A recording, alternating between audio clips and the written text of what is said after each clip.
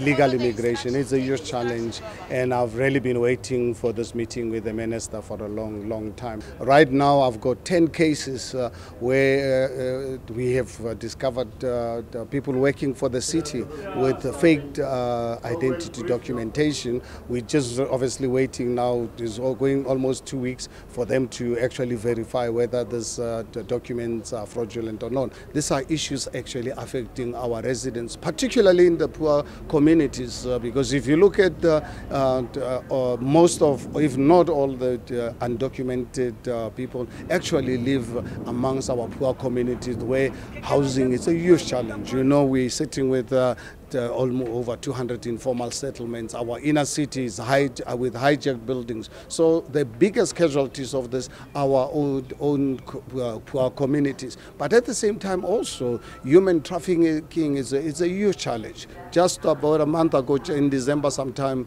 uh, we in one building discovered and confiscated uh, over 80 million rands of counterfeit goods in one building, and we find uh, some of foreign nationals being brought into this country legally with no documentations, not allowed to leave uh, uh, these buildings.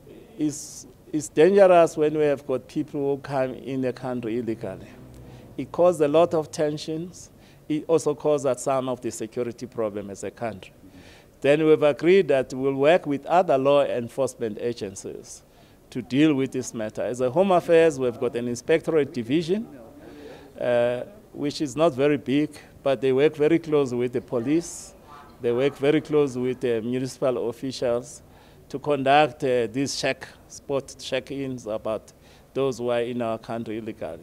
The, the major concern which we are facing is that uh, the IDs are sitting in our offices. We produce quite a number of smart cards and they are sitting in our offices. We are appealing to the citizens of Johannesburg and Gauteng and other provinces, of course, to please come and collect your IDs.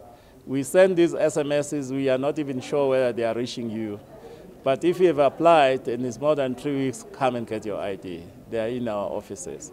The second challenge which we face is these things which uh, sort of irritate our citizens. Uh, the long queues, we're trying to deal with that and uh, the systems sometimes which embarrass us and don't work like here where the system has not been functioning. But most of our officials, they are working very well.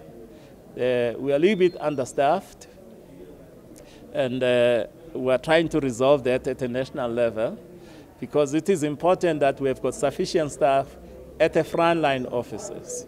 It's okay if we are understaffed at the backline offices.